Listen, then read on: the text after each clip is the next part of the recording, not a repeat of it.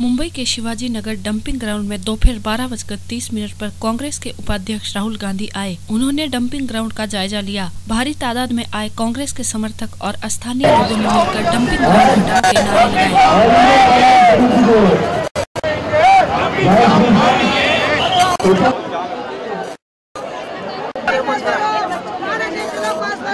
समय के बाद राहुल गांधी जी का आगमन होने वाला है। कांग्रेस पार्टी के कुछ समर्थक जो कार्यकर्ता है, लाइन में खड़े हैं, राहुल गांधी जी का इंतज़ार कर रहे हैं।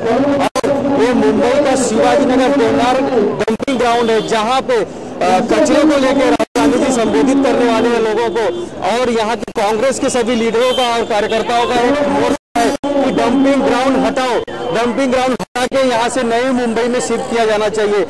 आज राहुल गांधी जी नई मुंबई प्रवेश कर रहे हैं। आज मुंबई के देवनार ग्राउंड में राहुल जी का एक बड़ा कार्यक्रम होने वाला है, जहाँ पे डंपिंग ग्राउंड के विरोध में कांग्रेस के काफ़ी कार्यकर्ता मैं आपको दिखाना चाहता हूँ कि किस तरह के विरोध में खड़े हैं और धूप इतनी तगड़ी है और यहाँ पे पुलिस का इतना ज़्यादा बंदोबस्त है, जो कार्यकर्ता जो है, धूप का धूप का कोई ये नहीं करने वाले और कार्यकर्ता जो है, लाइन में खड़े हैं। राहुल गांधी का इंतज़ार कर रहे हैं। आपको मैं दिखाना चाहता हूँ किस तरह पार्टी के कार्यकर्ता धूप में खड़े होकर राहुल गांधी का इंतज़ार कर रहे हैं। मुंबई के शिवाजी नगर में कांग्रेस पार्टी के और यहाँ के स्थानीय लोगों ने एक जंग छेड़ दिया। गवर्नमेंट ग्राउंड बंद करो।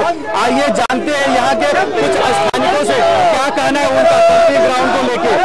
क्या डंपिंग ग्राउंड को लेके क्या क्या समस्या है? यहाँ पे जो डंपिंग ग्राउंड से बड़ी समस्या, बीमारियों की है लोगों की जाने जा रही है। हमारा इतना ही कहना है कि राहुल जी, आज ऐसे नेता, एक नेता है जिसका कोई राष्ट्रीय नेता आज तक यहाँ पे डंपिंग हाउस कांग्रेस कांग्रेस जानती है। आम आम आदमी की आवाज़ एक ही पार्टी उठा सकती है और वो है कांग्रेस। और गांधी परिवार हमेशा कुछ ना कुछ आम आदमी के जब भी समस्या आई है ज़मीन पर उतरा है, रस्ते पर राहुल जी ने दिखा दिया है कि आज आज कोई बचा सकता है हमें आज इन बीमारियों से, क्योंकि हम महानगर पालिका का सत्ताओं से, जो सत्ता यहाँ पे आई है, देश में जिसकी सत्ता है, उनसे तंग आ चुके हैं। आज एक ही बुलंद आवाज़ आ रही है, वो है राहुल जी की। राहुल गांधी आज आएँगे डंपिंग ग्राउंड बंद करवाएँगे। हमारे, हमें पता है, जब जब गांधी परिवार ने कोई इशू उठाया है, वो देश के उस इंटरनेशनल लेवल पे जा चुका है। और ये आज है डंपिंग ग्राउंड, लोगों की नज़र में इतना बड़ा इशू हो जाएगा कि उन्हें आज देश की सरकार को बीएमसी को आज बंद करवाना होगा। इससे लोगों की बीमारियाँ दूर हो जाएगी। कांग्रेस पार्टी के कार्यकर्ता हो या स्थानिक लोग है, सभी लोगों का एक ही कहना है कि डंपिंग ग्राउंड बंद होना चाहिए, जिसके वजह से काफ़ी लोगों की जान जा रही है। अकबर हुसैन जी आइए उनसे जानते हैं कि आज का जो राहुल गांधी जी का दौरा है, किस लिए है और किस मुद्दे को लेकर आज का दौरा रखा गया है? किस मुद्दे के लिए आज का दौरा रखा गया है? राहुल गांधी जी कुछ समय में यहाँ पे आने वाले क्या कहना चाहेंगे देश के जिसके हाथ में बीजेपी सरकार है म्यूनसिपालिटी इसके बीएमसी की सरकार, शिवसेना के हाथ में, ये दोनों बड़े लोग, ना उदय ठाकरे इधर आए, ना हमारे फडणवीस जी इधर पे आए, दोनों नहीं आए, लेकिन राहुल गांधी से इधर चल के आ रहे हैं इनकी समस्या देखने के लिए।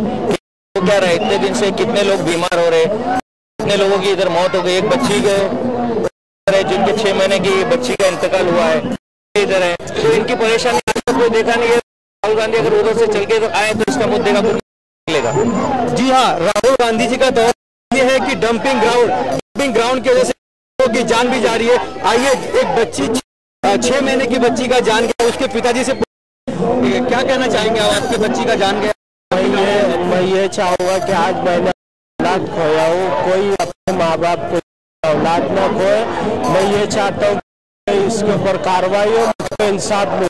क्योंकि कई लोगों को जो बड़े बड़े लोग लेने में दिक्कत हो रही है दिन लोग आए वो लोग भी मेरे से मिले, मुझे बता भाई, हम तो बड़े हैं कि को सांस लेने में इतनी तकलीफ़ हो रही है, वो तो बच्चा था।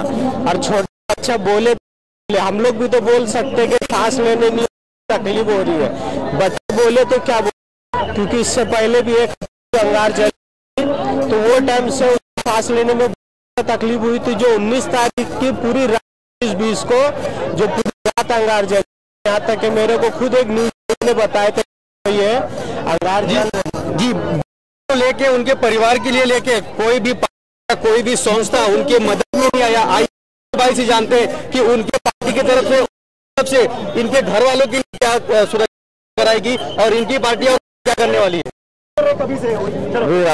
अभी इनसे तो बात कराने की कोशिश करेंगे हम उसके डिसीज़न होगा।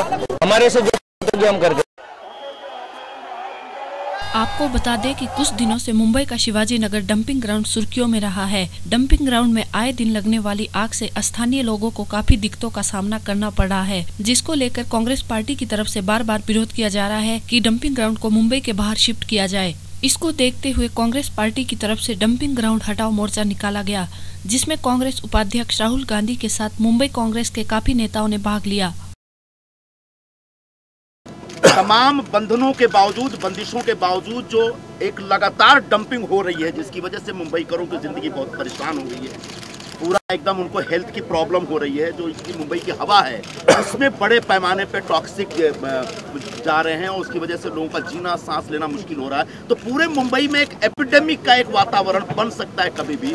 तो ऐसे डंपिंग यार्ड में जो डंपिंग के अंदर जो आग लग रही है और जहरीला धुआँ फैल रहा है, जिससे पूरा मुंबई कर परेशान है, उनकी समस्या को जानने समझने के लिए हमारे कांग्रेस पार्टी के राष्ट्रीय उपाध्यक्ष आदरणीय श्री राहुल गांधी जी आए हैं। स्वयं वो देवनार के डंपिंग इलाके में गए और देख के आए हैं और आज हमने जैसा इनको बताया और पूरे मुंबई करों की जो मांग है कि देवनार में डंपिंग इमीडिएटली बंद होनी चाहिए।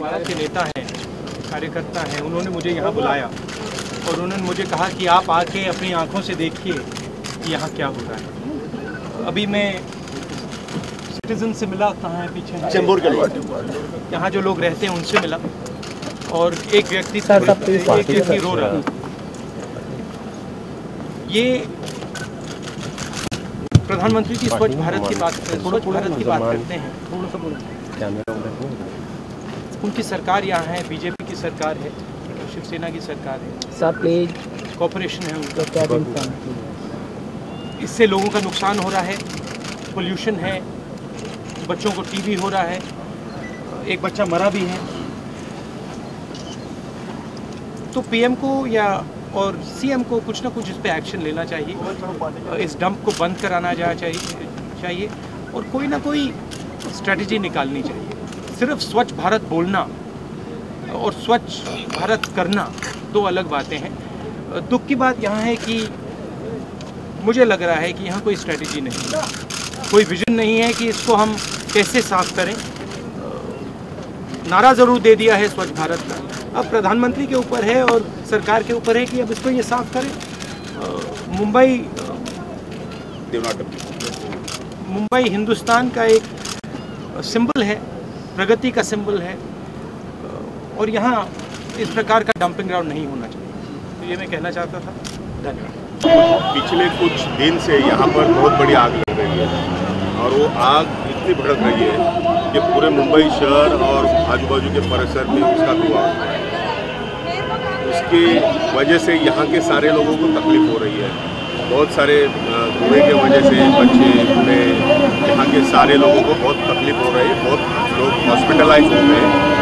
और ये कंटिन्यू बढ़ते जा रहा है, उसके ऊपर कोई कंट्रोल करने का तैयारी नहीं है।